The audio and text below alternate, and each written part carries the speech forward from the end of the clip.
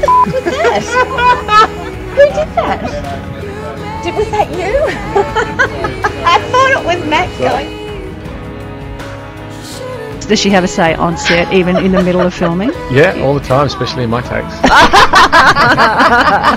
no, Ash is Ash is great.